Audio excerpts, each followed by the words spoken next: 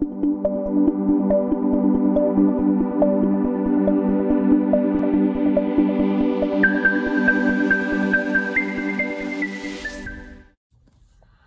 Hi, I'm Ally Carter. Really quick today for my two minute tip. I wanted to tell you about the time I was working with my very first YA editor, a brilliant woman named Donna Bray.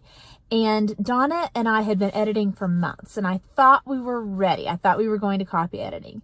And she calls me up and she says, great news, we're ready for our line edit. And I thought, what do you mean? We're done. And she said, no, the book needs to be shorter. And I said, but it's 80,000 words. That's a really common length for a YA book. And she said, no, you don't understand. It's not that it's too long. It's that it's not tight. And so she actually went through the book line by line, hard copy, red pen, old school, and marked up every single line in that manuscript.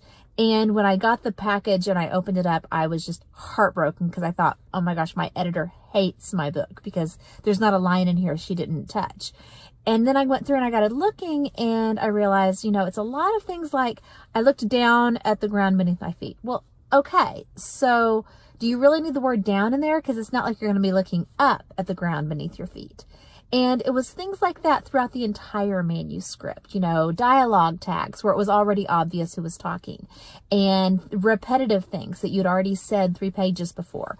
And pretty much every single page of that book needed some kind of work like that.